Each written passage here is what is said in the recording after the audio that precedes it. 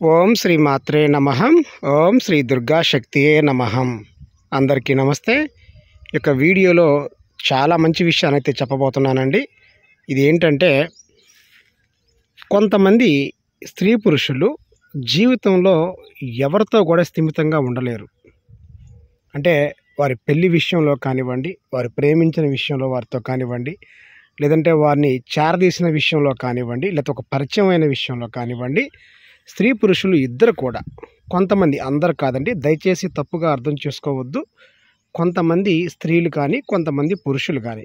వీరికి జీవితంలో ఎంత మంచి వారు పరిచయం అయినా కూడా ఎంత ఎంత మంచి వారితో వీరికి సంబంధం ఉన్నా కూడా లేదా పెళ్ళైనా కూడా లేదంటే ప్రేమించుకున్నా కూడా వారితో వీరు ఇమడలేరు మరి ఎందువల్ల ఇలా జరుగుతుంది? అసలు దీనికి పరిష్కారం ఏంటో కూడా మీకైతే నేను చెప్తాను. మరి ఎదుటి వ్యక్తి చాలా మంచి వ్యక్తి కొంతమంది స్త్రీలకి పరిచయమైన లేదంటే కొంతమంది పురుషులకి చాలా మంచి స్త్రీలు పరిచయమైన ఆ పరిచయం అనేది జీవితం దాకా జీవితం చివరి దాకా కొనసాగదు. అంటే కొన్నాళ్ళు వీరితో ఉండి తర్వాత మనస్పర్ధలు వచ్చి విడిపోతూ ఉంటారు. తర్వాత ఇంకొకరితో పరిచయం తర్వాత వాళ్ళతో మనస్పర్ధలు తర్వాత ఇంకొకరితో పరిచయం. తర్వాత వారితో కూడా మనస్పర్ధలు. ఈ విధంగా జీవితం అంతా కూడా మనస్పర్ధలతో కొనసాగుతూనే ఉంటుందన్నమాట. మరి ఎందువల్ల ఇలా జరుగుతుందంటే వీరికి దోషం ఉంటుంది. దోషం అనేది అంటే ఎలాంటి దోషం అంటే పక్షుల దోషం కానివ్వండి జంట పాముల దోషం కానివ్వండి లేదంటే వీరి యొక్క అంగదోషాలు అంటారు. అంగదోషాలు. మరి వీటి పరంగా కానివ్వండి వీరికి దోషాలు జరుగుతూ ఉంటాయి. అంటే స్త్రీలు అయితే వారి యొక్క రజస్వల అయిన సమయంలో ఉన్న దోషాలు లేదా ఆ సమయంలో వీరు కనుక కొన్ని పొరపాట్లు చేసినట్లయితే వచ్చే దోషాలు.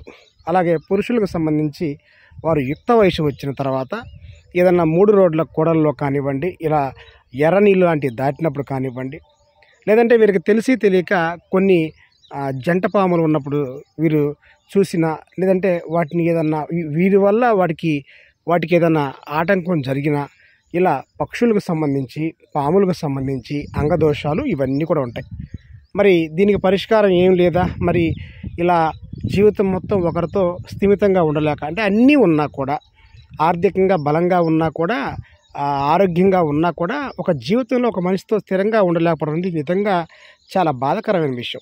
మరి దీనికి పరిష్కార మార్గం ఏంటి అంటే మీరు ఎన్నో ప్రయత్నాలు చేసి విసిగి వేసారిపోయి ఉండొచ్చు. కానీ ఈ యొక్క వీడియోలో నేను చెప్పబోయే చిన్న ఒక పరిష్కార మార్గాన్ని మీరు చెయ్యండి. ఇక గతంలో మీ జీవితం ఎలా జరిగినా కూడా ఇక నుంచి అలా ఇబ్బంది పడకుండా ఉంటుంది. అంటే మీరు ఇబ్బంది పడరు. ఎవరితో అయినా సరే ఒకరితో మనస్ఫూర్తిగా ఉండే విధంగా చక్కగా మీ జీవితం బాగుంటుంది. మరి ఈ యొక్క వీడియోని లాస్ట్ వరకు అయితే స్కిప్ చేయకుండా చూడండి. మంచి పరిహారం. నేను మూలికా గ్రంథాల నుంచి తంత్రశాస్త్రం నుంచి సేకరించి మరి మీకు ఈ యొక్క వీడియోస్ అయితే నేను చేస్తూ ఉన్నాను. పరిహారం మీకు చెప్తాను. మీరు చక్కగా చేసుకోండి. మనం ప్రకృతిలో ఎన్నో రకాల మొక్కలు చెట్లు మనకి ప్రకృతి తల్లి ఇచ్చింది. ఇదిగో చూడండి రేల చెట్టు. ఈ యొక్క పసుపు పూలతో ఉన్న రేల చెట్టు మీ అందరికి తెలిసే ఉంటుంది. ఏదైనా ఒక మంచి రోజున ఏదైనా మంచి రోజున లేదంటే మంచి నక్షత్రం రోజున అంటే మీకు అనుకూలంగా ఈ రోజైతే మాకు బాగుంది అనేది మీకు కనుక ఉన్నట్లయితే ఈరోజు మాకు బాగా అనుకూలంగా ఉంటుంది. లేదంటే ఈ నక్షత్రం రోజున మాకు బాగా కలిసి వస్తుంది అని మీకు ఎవరికైనా అనిపించినట్లయితే మీరు చేయవలసింది ఏంటంటే ఈ రేల చెట్టు వద్దకి మీరు ఆ రోజు రావాల్సి ఉంటుంది. రేల చెట్టు వద్దకి. వచ్చిన తర్వాత ఈ యొక్క రేల చెట్టు వేరు భాగాన్ని కానివ్వండి లేదంటే దీని యొక్క చిగురు భాగాన్ని అంటారు. అంటే ఆకులు చివరి యొక్క చిగురు భాగాలు లేత చిగురు యొక్క భాగాలు. ఈ రేల చెట్టుది మీరైతే తీసుకోండి.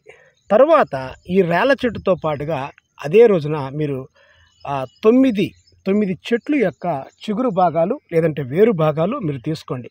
అంటే ఏ చెట్టు తీసుకోవాలంటే ఏ చెట్టు తీసుకున్నా పర్వాలేదు తొమ్మిది చెట్లు. అయితే నేనైతే కొన్ని మంచి పవర్ ఉన్న చెట్లు పేర్లు చెప్తాను. మీరు దాదాపుగా ఇవే ఉండేలా మీరైతే ప్లాన్ చేసుకోండి. చూడండి ఒకటి రేల చెట్టు రెండు నల్లేరు మూడు ఉత్తరేణి నాలుగు తెల్ల జిల్లెడు ఐదు వెంపలి ఆరు మామిడి ఏడు నేరేడు ఎనిమిది వేప. తొమ్మిది తంగెడు.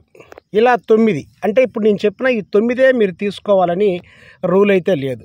మీరు ఇంకా ఇవే కాకుండా కాకర బీర బంతి ఇలా ఏదైనా పర్వాలా. కొన్ని వేర్లు అయితే మీరైతే సేకరించుకోండి. లేదంటే వాటి యొక్క లేత చిగురు యొక్క భాగాలను అయితే మీరైతే సేకరించుకోండి. మరి ఇప్పుడు వీటిని సేకరించే ముందు ప్రతి ఒక్క చెట్టు కూడా మీరు కాస్త నీళ్ళు పోయండి అలాగే నైవేద్యం పెట్టండి. మరి నైవేద్యం ఏం పెడతారంటే ఒక చిన్న బెల్లం ముక్క సరిపోతుంది.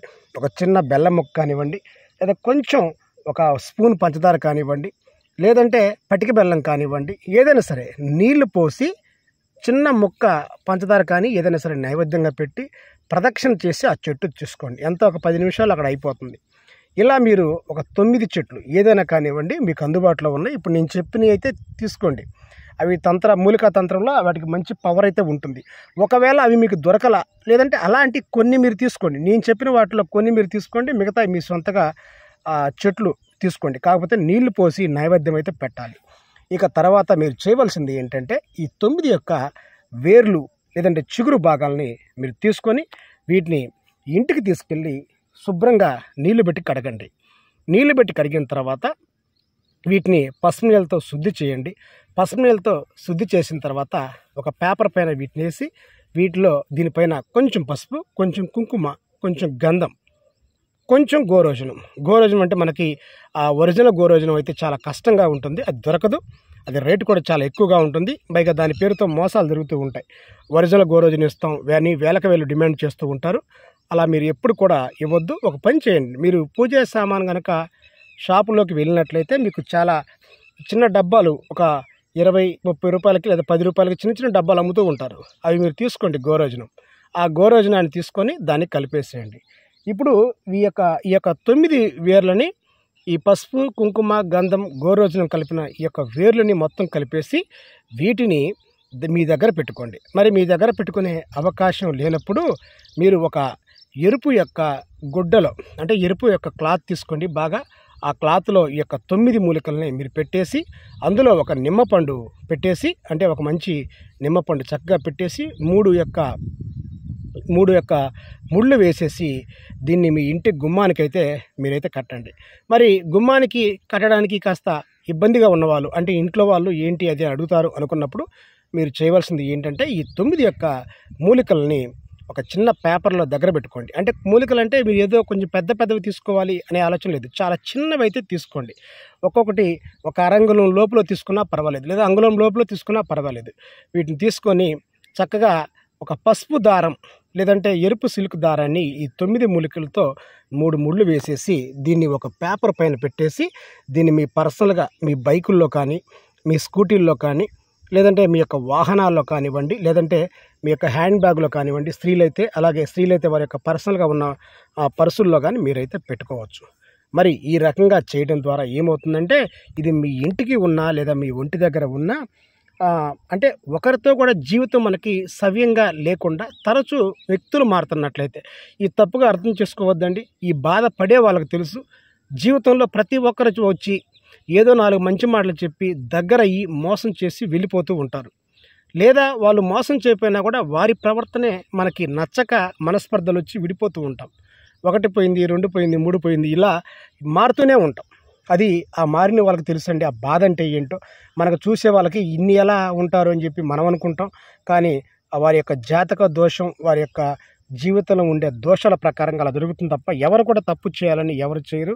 కాబట్టి ఆ రకంగా జరుగుతుంది. కాబట్టి ఈ యొక్క పరిహారాన్ని మీరు చేసినట్లయితే ఖచ్చితంగా మంచి ఫలితం అయితే మీకైతే ఉంటుంది. ఎందువల్లంటే ఎప్పుడైతే ప్రకృతిలో ఉన్న తొమ్మిది రకాల ఈ యొక్క మూలికలు కనుక కలిసినాయంటే మన యొక్క జీవిత దోషాలకి ఇవి చాలా బ్రహ్మాండంగా పనిచేస్తాయి. తొమ్మిది మూలిక మూలికల యొక్క కలయిక అనేది సర్వదోషాలకి సర్వ దోషాలకి బాగా పనిచేస్తుంది. అయితే ఈ యొక్క దోషాలు పోవాలి అనుకున్నప్పుడు మనం ఈ మూలికలు సేకరించాలి అనుకున్నప్పుడు నిష్ట నియమములు చాలా ప్రధానం. ఇవైతే అబద్ధాలు ఆడటం కానివ్వండి లేకపోతే ఇది చేస్తే అది జరుగుతుందా? అది చేస్తే ఇది జరుగుతుందా అనే ఒక ఆలోచనలు అయితే మీరైతే పెట్టుకోవద్దు. నమ్మకంతో చేయాలి దైవానుగ్రహంతో చేయండి. మీకు జీవితంలో మళ్ళా మళ్ళా తప్పిదం అయితే ఉండదు. అలాగే ఈ చెట్లు సేకరించాలి అనుకున్నప్పుడు తలస్నానం చేసి రండి. అలాగే నా యొక్క చిన్న విన్నపం వచ్చే ముందు ఈ యొక్క జాగ్రత్తగా చూసుకొని రావాల్సి ఉంటుంది. ఈ చెట్ల వద్ద ఎక్కువగా పాములు అయితే ఉండే అవకాశం అయితే ఉంది. కాబట్టి చూసుకొని జాగ్రత్తగా వచ్చి ఈ పరిహారాన్ని చేయండి. ఈ పరిహారం మీరు చేస్తున్నప్పుడు మీలో మాత్రమే ఉండాలి తప్ప పది మందికి చెప్పుకోవాలి అనే ఆలోచన ఫ్రెండ్స్కి చెప్పుకోవాలి అనే ఆలోచన పెట్టుకోవద్దు. ఇక చూడండి ఈ యొక్క వీడియో కనుక మీకు నచ్చినట్లయితే ఖచ్చితంగా షేర్ చేయండి. అందరికీ నమస్తే.